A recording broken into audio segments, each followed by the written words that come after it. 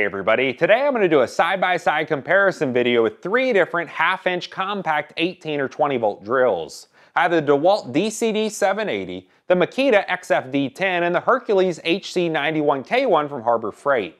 Now what I'd like you to do right now before you even watch this video is pause it and leave a comment below with which one of these you think is going to be the winner. Then after the video, go back and leave a reply to your comment and tell me if you're right or not.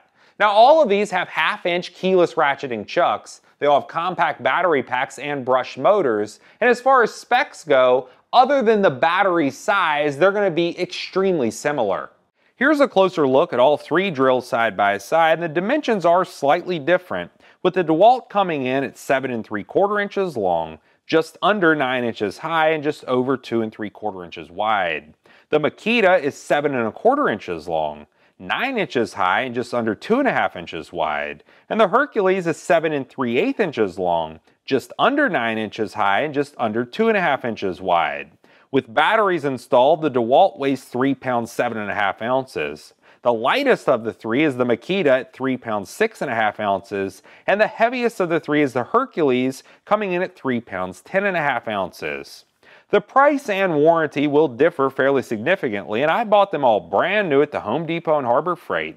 And off the shelf, the most expensive one is the Makita. It's $169. It comes with two 2 amp hour battery packs, and it also is covered with a 3 year warranty against manufacturer defects. The DeWalt is $10 less, coming in at 159 bucks. It's also covered with a 3 year warranty and has two 1.5 amp hour battery packs.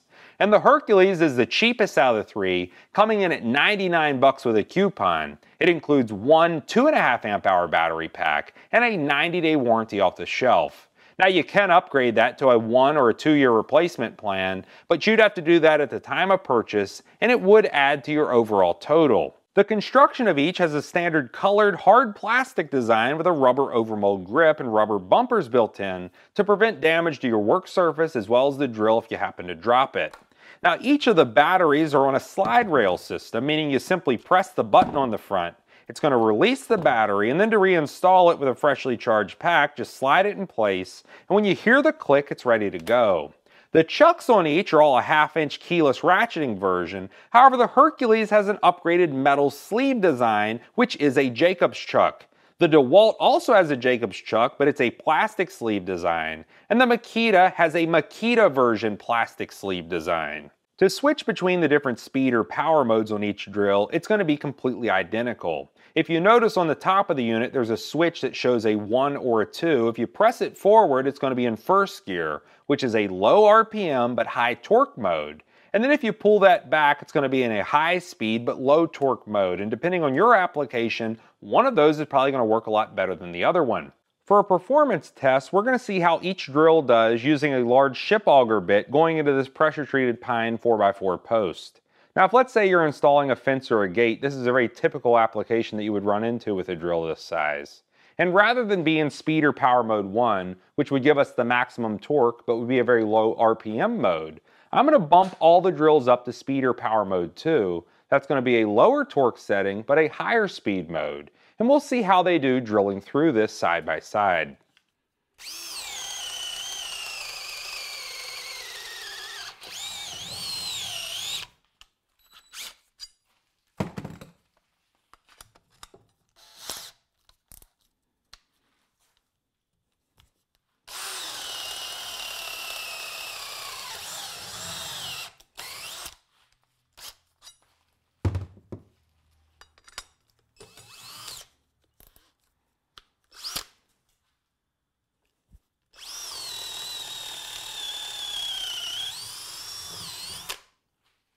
All three drills have an LED light in between the chuck and the variable speed trigger, and when you release the trigger, the light's going to remain on the DeWalt for a full 20 seconds. The Makita is going to stay on for roughly 12 to 13 seconds, and the Hercules will remain on for 10 seconds. To change directions as you're using the drill, there's a switch just behind that trigger. It's going to move left to right. If you push it to the left, it's going to put the drill in forward, and if you push it to the right, it's going to be in reverse. Now the center position on all three of these drills is known as a trigger lock, meaning if you're traveling or you don't want to accidentally activate the tool, you'll put it in the middle position and then when you pull on the trigger, nothing's going to happen. Now, depending on your application, you might want to limit the amount of torque being applied so you don't overdrive or strip out a screw. And behind the chuck is actually a clutch ring that you can rotate left to right to dial in that torque exactly. With lower numbers meaning lower torque, and higher numbers meaning higher torque, when a specific amount is reached, the drill will no longer turn the chuck. There's also a drill only setting. If we notice a drill bit symbol on each unit, that overrides the clutch ring, applying full power from the motor into the chuck and into your bit. To test the performance of each drill using an extremely large bit, I have a 2 and 9 16 self-feeding wood bit. We're going to drill into a pine 2x6 with each drill to see the type of job that they would do for you.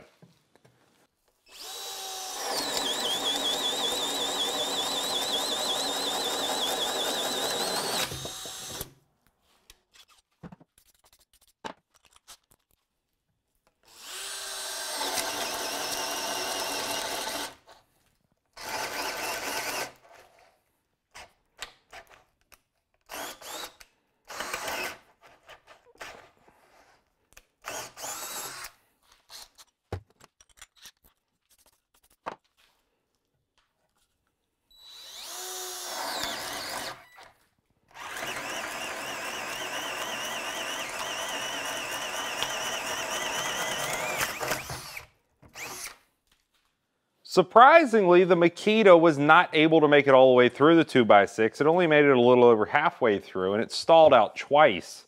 All the batteries were fully charged. You can see if I press the button on the back, it does have four bars lit up.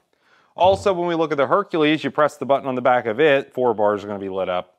And then the DeWalt does not have a fuel gauge, but it was still able to make it all the way through. So as far as this test goes, using an extremely large bit, the Hercules and the DeWalt were able to make it all the way through. The Makita had overload protection kick on and it was not able to make it all the way through. Now for a runtime test, I'll be using a 1 inch auger bit going into Pine 2x6s and we'll see how many holes that these can drill before the batteries die. All of the batteries are fully charged, but remember that they're different amp hour ratings. The lowest is going to be the DeWalt with a 1.5 amp hour battery. The Makita has a 2 amp hour and the Hercules has a 2.5 amp hour.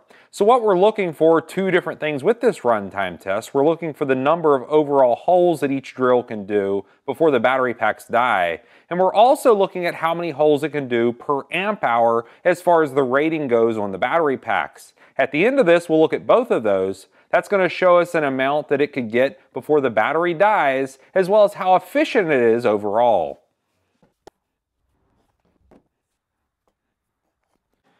And with all the drills, we're going to be in speed or power mode 1, which is a low speed but high torque mode.